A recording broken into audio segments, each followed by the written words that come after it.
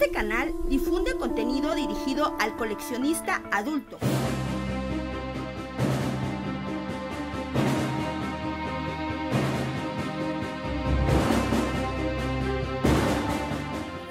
Hola, ¿qué tal amigos de Magias Initiative? Soy Metal Mischief y esta vez les traigo la reseña de Moon Knight de la línea de 112 de la marca de Mezco. Eh, esta vez vamos a ocupar un fondo oscuro porque la figura es bastante, bastante clara y para, para que haga un poco de, de contraste, por eso ocupamos este, este fondo oscuro. Vamos a empezar a ver como siempre el empaque pues aquí nada más es, el empaque clásico de, de 112 igualito a otros que tengo como Old Man Logan y eh, Judge Dredd es la caja y se puede levantar esta parte. Ahorita vamos a ver qué tiene por dentro. Y aquí pues nada más es el símbolo del personaje. Acá de este lado lo mismo.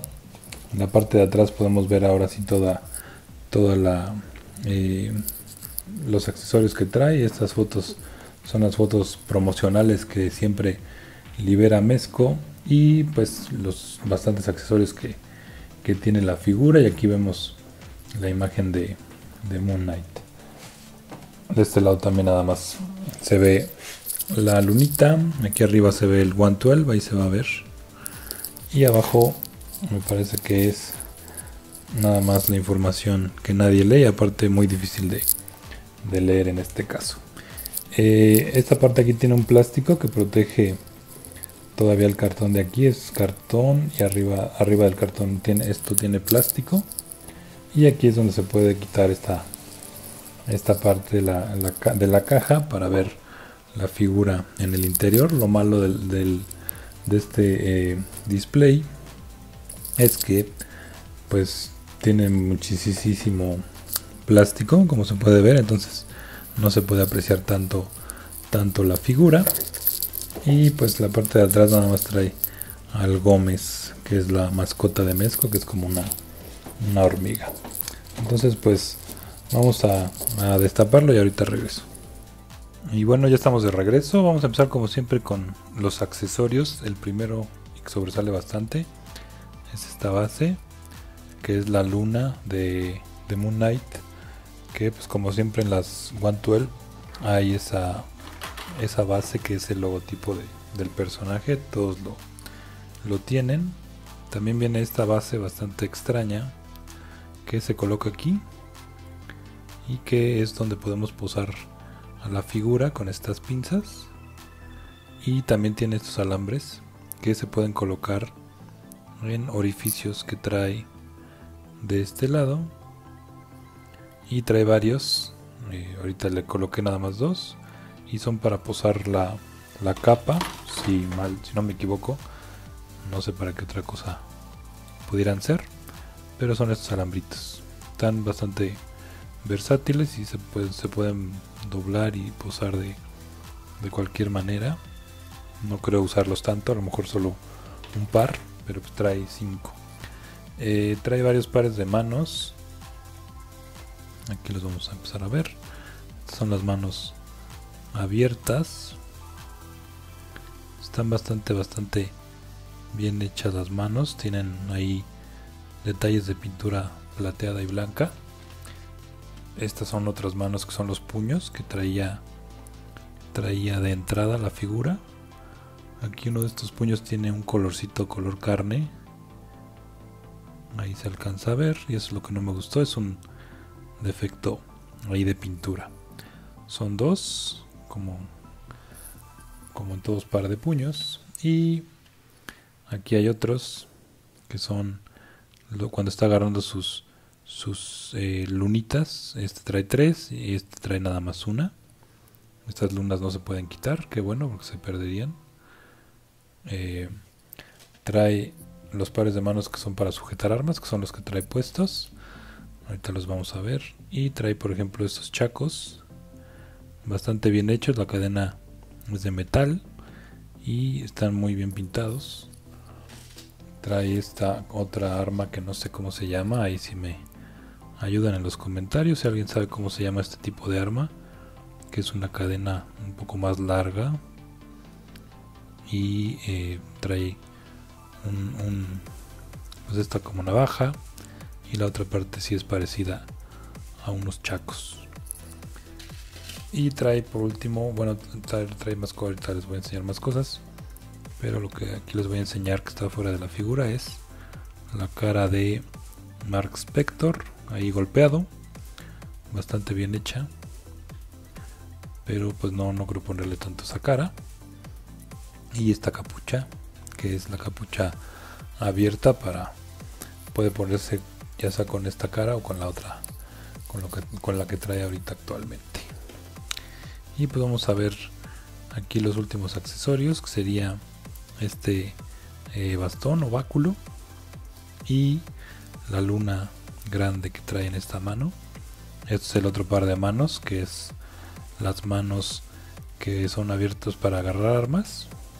Y pues vamos a empezar ahora sí a ver la figura.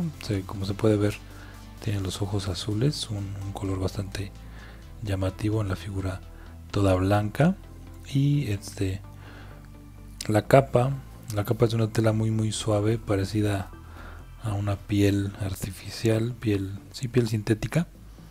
Es bastante bastante suave y no tiene ningún tipo de alambre. Eh, para eso son los alambres que, que dan en la base para que uno la, la sujete como, como quiera para, para posarlo pero no hay forma de, de posar la, la, capa individualmente sin, sin esos alambres externos. Se puede ver aquí la luna bastante bien hecha tiene buen detalle en el pecho en cuanto a las aplicaciones de, estos plastiquitos un poco más sólidos encima de la tela. Y pues tiene los mismos colores tonos plateados en las botas en los en el cinturón y aquí en esta parte de atrás. Eh, también en los brazos tiene esa aplicación de pintura plateada que se ve, se ve bastante bien. Y la cara pues también tiene como tonos ahí medio grises. Esta máscara está bastante bien hecha bueno la capucha perdón está bastante bastante bien hecha. Y se alcanzan a ver detalles también como que simular ser de, piel. Y pues la verdad la figura está, está muy bonita muy bien muy bien detallada. A lo mejor un poco flaquito lo veo muy flaquito así ya como fuera del empaque pero pues se ve bastante bastante bien. Vamos a ver un poco de las articulaciones. Le voy a quitar la, la capucha esta es la que se puede quitar. Y si es, es algo complicado un poco complicado colocarla tiene ahí un plástico este que se ve aquí este plástico. Tiene que entrar la capucha exactamente sobre ese plástico. Todo el borde de la, de la capucha tiene que embonar ahí. Es ahí eh, irlo ahí ajustando poco a poco y ya, ya, es como queda bien. Si no si no se coloca así pues queda por ejemplo de esta manera un poco arriba y pues no se alcanza a ver bien la, la cara no se puede llegar a ver de esta manera como como gorra de, Apoli. Eh, vamos a ver ahora sí las articulaciones. La cabeza sí tiene bastante buen rango. Tiene una articulación ahí de bola. El hombro pues tiene toda la, la rotación. Obviamente no, la voy a, no lo voy a rotar todo de esta manera porque la tela es la que nos lo, nos lo impide. Tiene al parecer una doble unión en el brazo. También no se puede ver por dentro como cómo está esa articulación y si se llega a doblar mucho pues sí se empieza a ver aquí cómo se, se estresa la, la tela en el torso tiene una articulación mínima que nos permite hacer esto las piernas tiene bastante rango obviamente hay que cuidar la tela para mover la figura en la parte de se hace también hacia adelante y hacia atrás igual la tela nos impide un poco del rango. Aquí sí se alcanza a ver un poco que hay doble unión en la pierna. Y pues llega bastante, bastante, pero pues sí empieza a dar un poco de, de cosa moverla demasiado. Y aquí pues la, la bota tiene esta unión de, de bola bastante limitada por esta parte de que le cubre ahí el tobillo.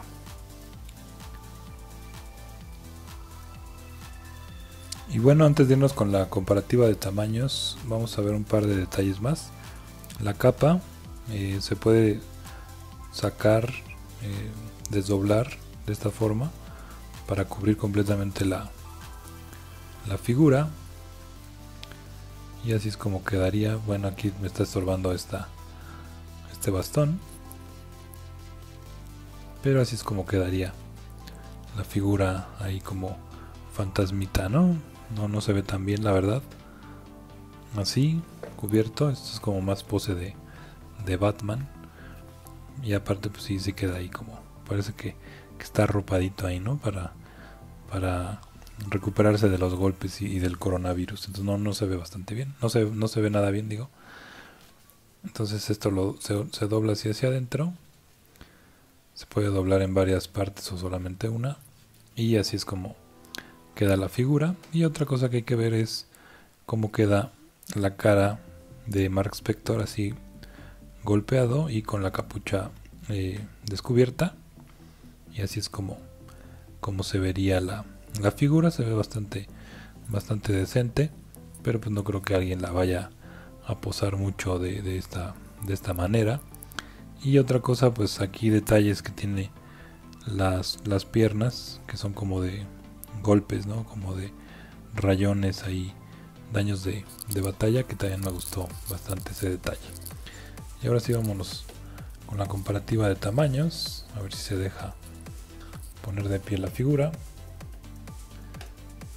Y ahí está, no cuesta tanto trabajo.